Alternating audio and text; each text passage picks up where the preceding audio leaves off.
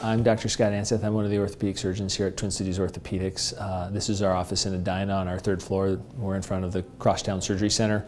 Uh, I'm here to talk a little bit about uh, the outpatient joint replacement experience that we have created uh, and answer some basic questions.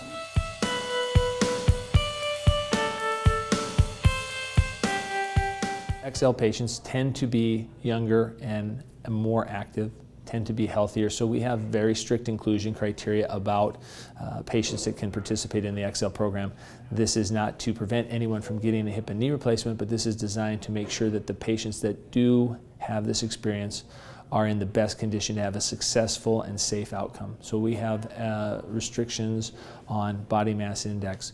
We have criteria about their medical history to make sure that if they have medical conditions, they are small, they are small problems that have been well controlled. Uh, we look at all their activity level uh, and their uh, home status, how much social support do they have at home in their living environment. All of those things play a factor in which patients qualify for EXCEL and which don't from a clinical standpoint. Unfortunately, not everybody's insurance covers uh, an EXCEL style program at this stage of the game, so in the end there's also a, a, a financial burden or a financial restriction based on what insurance individuals have.